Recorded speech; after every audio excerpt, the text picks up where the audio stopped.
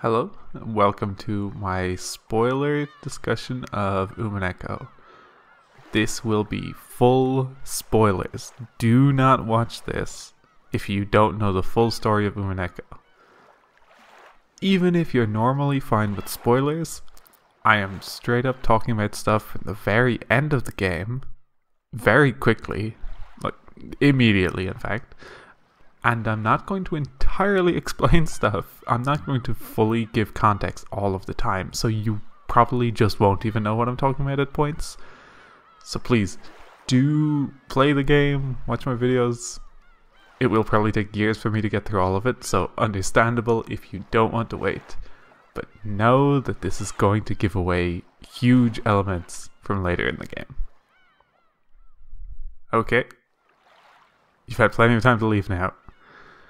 Uh, so this is going to cover the my first episode, which goes right up until Rosa appears, and I'm basically going to be watching over the footage. I recorded, thinking about lines, thinking about what stood out to me, and kind of making remarks on things that had occurred to me as I was playing, because it turns out when you've got a text as dense as Umineko is, when you play it through a second time, you notice things that maybe you didn't notice the first time, at least not quite as much. One thing uh, that was always funny is I never paid much attention to the descriptions that were that are written of the episodes, like telling you welcome to Rokkenjima and then giving you not really a summary of what the episode is going to be, but kind of a primer for it this and also a lot of the character description stuff I just didn't really look at very much, but I'm going to be paying way more attention this time. And one thing these have is they refer to a difficulty level. And uh, I don't know if that correlates to the notion of trying to solve the mystery for that particular episode, but I'm definitely going to be kind of digging into that a little more and seeing if that lines up.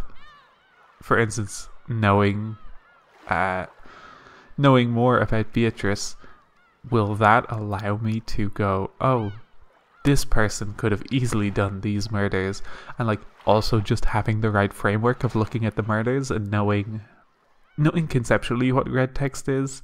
Obviously, it's not going to exist in the first episode, but looking at the first episode and going, no one ever actually confirms the death of this character, so I should not assume this character is dead just because they appeared to be and other characters assumed them to be.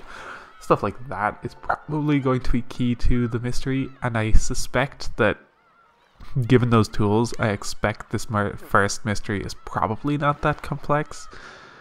But who knows? We'll find out when we get there. I'm looking forward to that because the first time through, I just took it as a roller coaster and was like, I will not figure this out. honestly, basically, yeah, couldn't figure it out. About five minutes before Beatrice's backstory, I did half guess what it was, but honestly, I just needed to be told it to fully understand. Uh, it's funny to me that the opening kind of standard disclaimer about stories being fic- the story being fictional and fantastic and there's no resembling to existing individuals organizations locations or incidents is very funny to me. It reads as like a joke. It is also obviously all fictional but even within the fictional universe the majority of what you're playing is also fictional. Or is it's basically is because you don't know for sure whatever happened on Rokkenjima. You get a lot of. You can know that Eva survived. You know that Battler managed to survive at the very, very end. Again, I sure hope you're still not listening if you care about spoilers. But it's a cat box. You can't know the specifics of the events of the incident because they never open Eva's journal. And so the possibility space has not collapsed, and any one of these eight episodes could be true, for all you know. But we don't know. So, at, effectively, these are all in universe fictional stories. They resemble real individuals and events, but even in terms of is this really what Kinzo was like? Because in the story. now, here's the layers. In the fiction, even, it's not actually Kinzo. Kinzo doesn't appear. Any. Well, we'll get to timeline things with this in a bit, I guess, but almost all appearances of Kinzo in this game, even if we were taking these things as depictions of what happened. I don't know how to phrase this properly. Even within the fictional universe of episode 1, Kinzo's not there. Kinzo is dead already, and they are just faking as if he has survived. So, even a further layer, he resembles an existing individual, but he himself is not actually present. He is not depicted. And also, the key word there is resembles. He is based on people's understanding of him. Obviously, the real person being dead, he is not behaving as himself. Therefore, the people who are covering up his death are using signifiers of him. They are acting in a way that is recognizably him, but that's distinct from what he himself would be doing. Anyway, that's a lot to spin ahead of this. I'm sure even if it's intentionally a joke, was not intended to be strictly speaking so deep, but it really does immediately connect to themes in a very funny way to me. This opening conversation immediately makes me just I I just hate Kinzo. I do understand that the ending of this game is meant to. It is not meant to soften an, an abuser, but it is meant to have you. You're meant to extend empathy to people and understand their different situations, their possibility space, what truths are theirs, and even if you don't agree with them, understand that those truths exist. But also, just fuck Kinzo.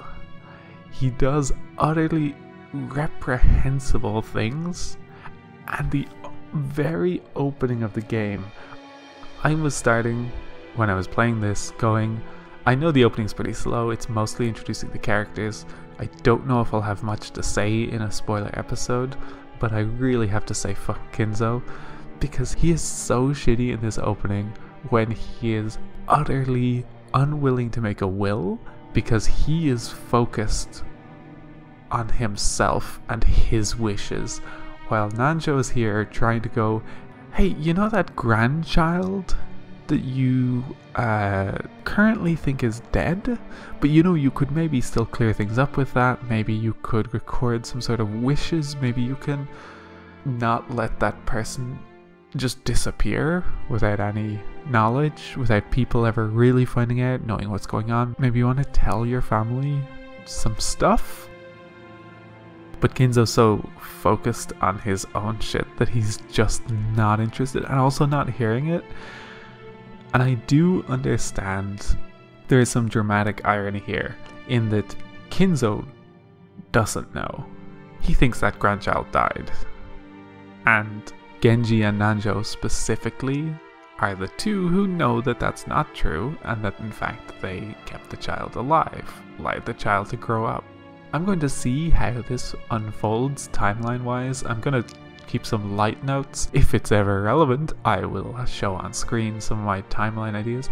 This is obviously not during the first episode. I suspect this is actually when Kinzo was alive, or at least that's the way we should be reading it. In terms of reality, everything should be taken with a grain of salt. I'm assuming this is before Nanjo and the servants decided to introduce Kinzo to his grandchild. And so we'll see how that plays out.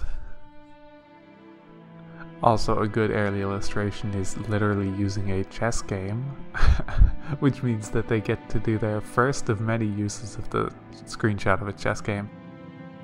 Using the chess game as a metaphor to describe something that is more abstract. And a thing that seems particularly relevant is the fact that the uh, the thing the chess game is describing it is abstract because it's hard to quantify.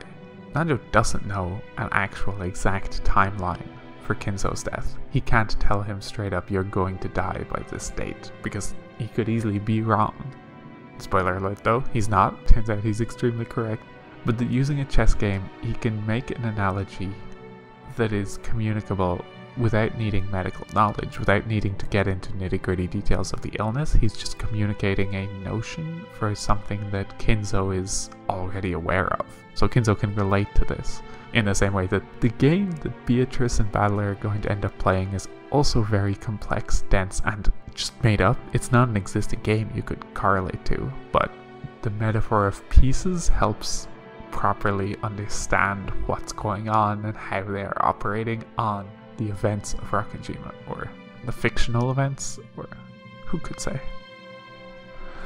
Also foreshadowing that Kinzo is going to fall into his eternal sleep before their game can be concluded. Beatrice and Battler unfortunately don't quite get to finish their game either. Player Beatrice does not get to come back. Not in that way. Fuck me, this is a very stupid observation, but I do have to say it. In, in episode 7, there is a character named Will Wright, who is instrumental in untangling the story of Lion and protecting them. I don't think that's unintentional. That's very funny. I just made Sims jokes when I saw him the first time, but now I know he is the will that Kinzo would never write and should have. He is the will that could have cleared things up, could have made people understand, could have untangled the threads of this complicated family mess. But Kinzo didn't do it. I also think the fact that the will is being recorded for later generations is like a key part of this, where Nanjo is very clearly trying to say, You have a grandchild that has never been addressed, your family doesn't know. And not only that your family doesn't know, but also, Natsuhi was given a baby, deeply resented it, and allowed that baby to die. Natsuhi has no idea what that was. She has never gotten closure or understanding on that. She does technically later in the game. We'll get there eventually. But that's another way in which writing this will could at least help inform Natsuhi on what happened there. Whether or not that truth ends up helping helping is a different question, but the fact that Kinzo's not saying it means that she'll never get that. Given the things this game has to say about truth, I don't know, strictly speaking, informing people more of things is just a default good as far as this game is concerned. But I do think never addressing the existence of Kinzo's child, grandchild, I'm gonna need to refer to them in some way. I am unclear on which identity is best to use. For now, when I refer to Kinzo's grandchild, you know who I mean. And if you don't, go finish Umineko first. I'm gonna keep saying it. I also think Nanjo saying that a will is a place where you could write of your regrets is almost Nanjo hoping to get some confirmation that Kinzo feels like what he did was wrong. Kinzo seems like he doesn't tell people shit, but also is like very guarded, even with his close friend, and kind of has to act with a degree of bluster. Like he has to be the proud head of the family. So he's not left the space to be a vulnerable person, to be like, maybe the thing I did's fucked up. I don't think that excuses what he did in the slightest, but I think it's a relevant understanding of why why he's behaving like this and then why Nanjo is kind of trying to poke at it, hoping that like, hey, you know, a will is a place where you're allowed to say these things. But Kinzo is not having it. Just like a game, a will is a way to communicate. Not a single thing he wants to leave behind. Oh god, and he even has the great, I was born with nothing and I'll die with nothing. Even though that's categorically untrue, he was made head of a family because he was born into that family. When thinking about Kinzo resisting the idea of wanting to leave a legacy behind, you do have to think about the trauma he has faced as part of his family and how that affects this. He never wanted to take the headship in the first place. It was a bit of a poison pill, it was a family in decline, it was also just a lot of work, he took it over and was deeply depressed, uninterested in it. And later, he managed to resurrect the family. He definitely seems to take some pride in the fact that he turns the fortunes of the family around, but it's not a thing he would have chosen to do. It was a fate that was thrust upon him. And he couldn't be with the actual woman he loved. For many reasons that we'll address later. So I could simultaneously see Kinzo either wanting to not subject his children to the same thing he did of having a particular role thrust upon them that's honestly not worth it, at least as far as he's concerned. Or also, again, Kinzo is proud of what he has done, is resentful of the fact that he is handing it over to children that he expects will destroy it. And it could honestly be both. But even in the read where he is trying to protect his children, his actions are only causing the continuation of the trauma because if he was maybe more direct with them about the situation, about what the headship would entail, about that it's not an ideal situation, but that he was willing to hand it over to such and such a person, or if he just concretely did something about it, there wouldn't be as much squabbling because a lot of the squabbling comes from the fact that there's no concrete heir a lot of the siblings are squabbling because they're hoping to eke out a win in an unresolved situation. And until that possibility space collapses, they're going to keep vying for things. And that's going to cause a lot of the conflict and strife between the different siblings and the stresses upon them. Because these people are all wealthy. They don't need to be successful to live. They need to be successful because it's the game they're playing. If they want to win, they need to be the child who's making the smart business ploys. Uh, when literally none of them are that, but yeah, we'll see that later. But I do also think it's funny that he is like, well, the gold I will leave when I come back. It's like, not all of it. You used some of that gold. you have taken. So here's the first time he refers to making a contract with the witch. At this point, when he refers to a witch's contract, I think he means original Beatrice, Italian Beatrice. I suspect this contract is basically an agreement between two people about using that gold, but never fully revealing it because they couldn't. They couldn't straight up tell people how much gold was there, they couldn't take it off the island. If they wanted to use it, they basically just had to using tiny amounts but ultimately not hand it down through the family because they couldn't bequeath it legally. you can't tell people about this mountain of gold because it's secret Nazi gold. and being secret Nazi gold, obviously the only way to inherit it is to solve your father's riddle. Very funny to see one of Kinzo's earliest lines being exclaiming, It's useless, useless, useless. At the moment of my death, my soul will be devoured by the demons of the contract and wiped out of existence. I don't know what the hell he's talking about here. Let me tell you, I've played the whole game and I don't know what Kinzo's on here. I'm not sure if I'm meant to read anything deeper than him putting occult flavor onto things because he likes the occult. I'll take note of it in case I get any brainwaves, but at the moment it doesn't actually mean a lot to me. Aside from him almost resisting legacy because he is only concerned with his own lifespan and then anything that happens after, not his problem. He wants to see Beatrice's smiling face one last time. Buddy, we all do. And this is part of the fuck Kinzo brigade. The one thing he wants to do before he dies is a very selfish, I want to see the smile of the woman I loved. And not just I want to see this, I want to see this, and for some reason she's withholding it from me. She fully has the power to just be right here. But she's just not doing it. And that's just rude. Holding his own life ransom, effectively. or his own death. And thus begins the first of many screams for Beatrice. Okay, I do want to point out that it ends with a message in a bottle what is pres- or, well, a bottle on the beach, which is presumably one of the messages Beatrice sent out. That's good. it's funny how like relentlessly this game will hammer on the it's been eight years point but it's also a good way to imply a kind of transformation in a character a character that's changed because it will come up later that battler could be basically a fake uh, it was one of my theories when i was reading originally that this might not be the same battler. And i mean it's true. It's been eight years so this is not the same person that they knew before. My theory was something about uh, basically a person coming to blackmail members of the family who was not who they thought, but was posing as Battler because it was convenient to get in easily, blah blah blah.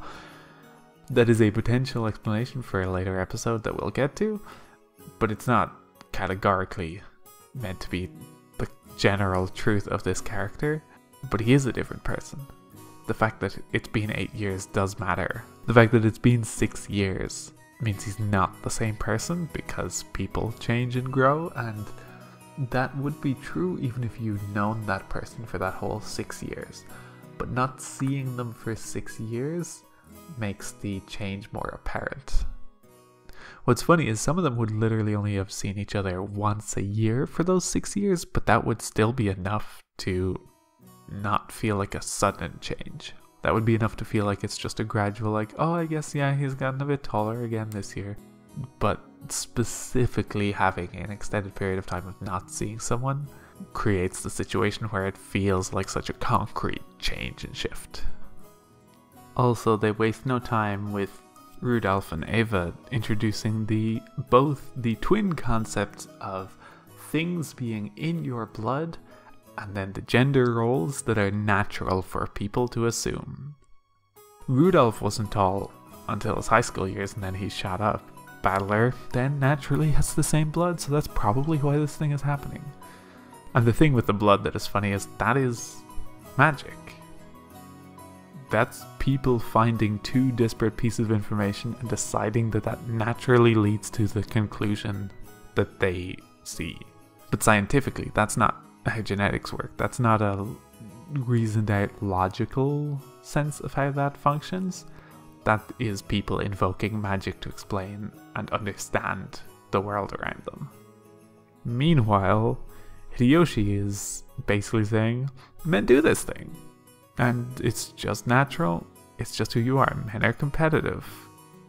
And then suggesting the ways in which that's a good thing. It's like, oh, you work hard, you gotta compete, you gotta build things up from nothing and so forth. And like this whole this opening has battler posturing a lot as a man and and doing gross anime tropes to reinforce that, to kind of assert a false confidence that he does not have but is absolutely expected to project. Battler the most insecure man.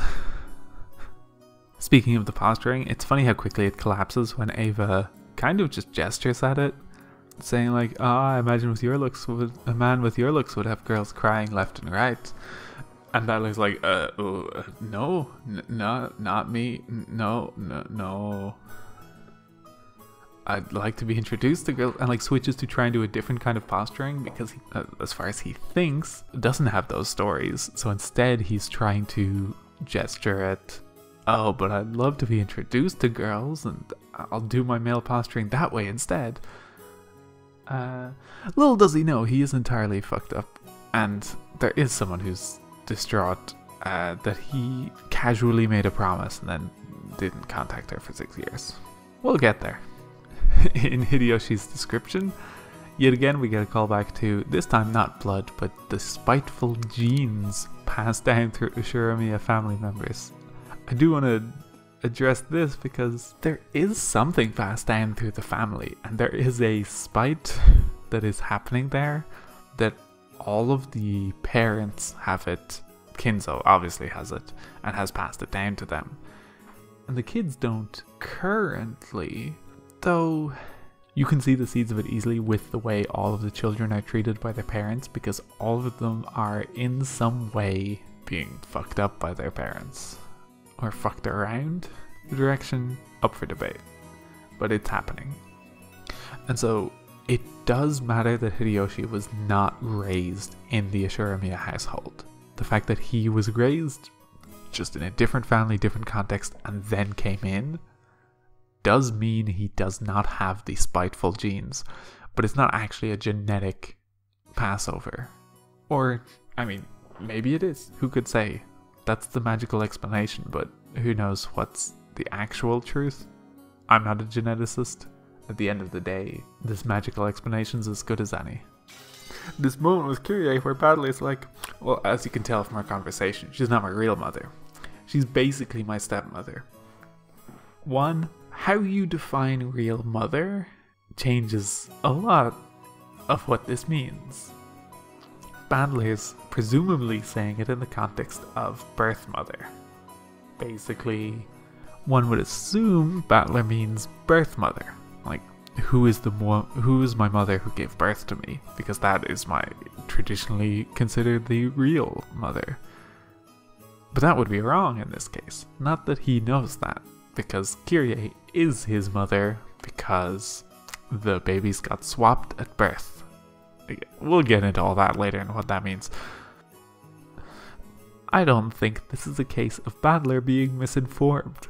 Battler grew up with Asumu as his mother. Asumu fulfilled the mother role while he was a child and while he was growing up. A big part of his falling out with Krauss is her dying and then Krauss just fucking off immediately. So Asumu was Battler's mother, and therefore was his real mother as far as he's concerned. The other half of this that's funny is saying she's basically his stepmother is sort of putting her in limbo because he's not quite accepted her fully as a stepmother. But what else would she be? Just a friend? Dad's girlfriend? Even though they are married. Dad's wife? He's kept Kyrie at arm's length from being family because he doesn't want to have to deal with the loss of his real mother. And again, that's part of this posturing. I think he's playing up them having a very casual, non familial relationship for that reason, because he's more comfortable with this kind of front than with addressing the fact that it's like, yo, you kind of replaced my mom, and I don't like it. As far as Battler is concerned, it's not Kyrie's fault. Is it actually Kyrie's fault? We'll talk about that later. We'll get to that. Eva casually saying, Hey Rudolph, isn't that child abuse? Ha ha ha is going to underline the amount of abuse done throughout this family. And it is so casual as to be a joke. and I don't think tugging on Battler's ear is the most severe one. But I mean, he is just physically hurting his son just to get back at him in a like minor argument that's meaningless. And also Eva's response is to do the same to him, so you can see pretty clearly how they're just barreling through and going, you know what, gonna just do the same thing even as I criticize it. Eva and Rudolph arguing about the other one proposing to move the family conference is very funny because it's this is exactly why the children don't this is a way in which these cycles of problems are not changing because if the two of them together said move the conference, maybe they still wouldn't be listened to, but they'd be from a much stronger position than just a single person saying they would like to. But both of them is shoving the responsibility onto the other. Neither wants to do it alone, but it never occurs to them to say, okay, but what if both of us said this? Probably Rosa would agree too. And they have made that choice for discussing the actual inheritance, but they have not made the leap to. We could also just move the conference. Maybe we could just, in general, do a lot more by being a united front.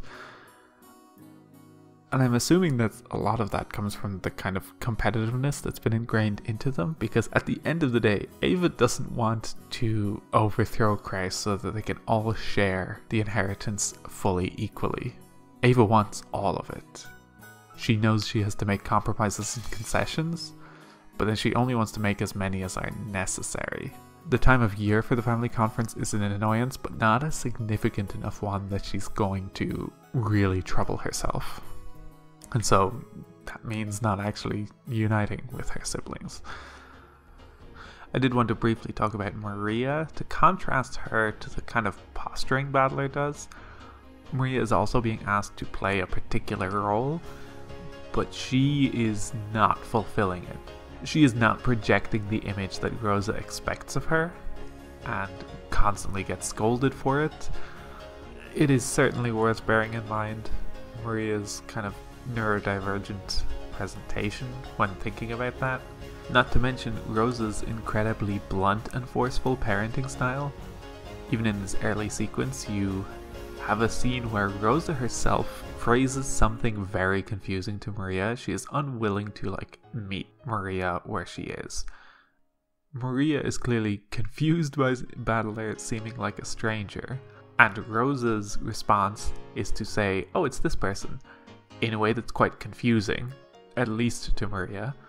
And it then has to fall to George to clarify what's just been said in a way that Maria can follow and lay it out for her. Rosa's often not very good at that. Rosa is often frustrated that her natural instincts are not working. Rosa's approach tends to be the correct thing should just be working, why isn't it? And so she will not make concessions or meet Maria halfway. We'll have plenty more examples of Rosa's parenting style. We'll get deep into those as they go. It's just funny how literally immediately she shows the problem with how she engages with Maria, and George shows a potentially better way that requires more patience but seems to help Maria more. One thing I find interesting about Maria not being sure about Battler is that the point at which she accepts, okay, this is Battler, is after he says so. He says, it's me, I am Battler, and she goes, okay, Battler, huh. And that feels like a parallel to her acceptance of Beatrice. She is just willing to accept that this is a person who is Beatrice and doesn't even have the conception later. When people keep asking her, who is Beatrice? There is no Beatrice, there has to be somebody else. Maria's not even really doing it out of stubbornness or technically out of conscientiousness. Just she only knows that person as Beatrice. Other family members might say, oh, the actual identity of this person is such and such. But that is not how it works to Maria. Maria has been introduced to Beatrice, and that is Beatrice the Golden Witch. That is not a different person. Even when the fa- their family members will suggest things like, oh, did somebody dress up as this person called Beatrice and hand you a letter? So what's the actual identity, Maria? She just sticks to, that's Beatrice. So that does indeed bring me to the end of my first episode. I had more to talk about than I thought. I don't think I will necessarily always do an episode for every video of the playthrough it's really going to depend on how much I have to say. There are probably cases where I'll have about 10 minutes or less even on a video that I'll probably hold off and just package it with a future video. We'll play it by ear. Looking forward to the next one. Till next time, thank you for watching.